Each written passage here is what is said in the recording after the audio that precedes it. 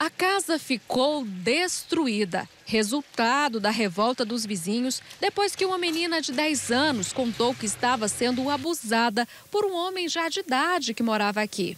Esse vídeo mostra as chamas. Nesse outro, os moradores indignados com a jovem de 17 anos que teria levado a criança para casa para ser abusada em troca de dinheiro.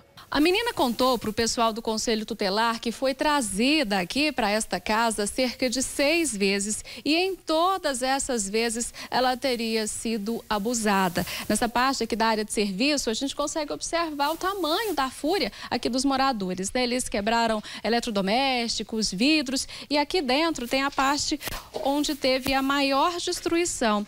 Seria o quarto desse senhor. A gente observa que tudo foi queimado, inclusive o teto veio abaixo. Valdivino é conselheiro tutelar da região norte de Goiânia. Conta a história de abandono da criança. Ela tem oito irmãos de pais diferentes e a mãe é traficante. Essa criança ela estava parambulando aqui pelas ruas do Vale do Som. Ela mora em Abadia, né? É, fica sob os cuidados do pai e da avó. Mas tava, veio passar um tempo aqui na casa do, do tio materno e estava perambulando aí pela rua uma pessoa que viu ela nessa situação acolheu ela, né? Já tinha uns 15 dias que ela estava com essa pessoa, a pessoa ajudando ela até ela voltar para a cidade de Abadia. E ali uma vizinha dessa pessoa, né? Que é uma traficantezinha conhecida aqui no, no residencial Vale dos Sonhos, pegou essa criança e estava trazendo essa criança para ser aliciada por esse senhor. Aí ela pedia vantagens financeiras ao trazer essa criança para ser aliciada por esse senhor. Esse morador do bairro disse que conhece o homem que era marceneiro na Ceasa. Nunca levantou suspeitas. Ele ajudou a apagar o fogo. Tentou pegar uma, uma mangueira e jogar água, mas não, não conseguiu, porque tinha, era óleo diesel, né, não apagava fácil.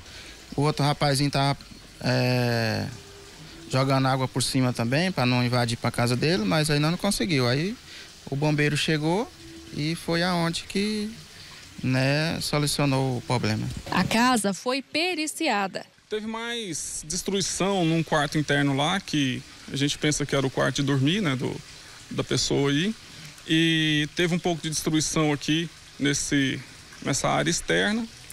E teve também bastante vandalismo. O homem e a aliciadora estão foragidos. A menina vai para um abrigo. Já que a mãe não tem o um mínimo de responsabilidade de cuidados e a família também não, ela será acolhida e vai para a instituição de acolhimento institucional. Supostamente será adotada por uma família.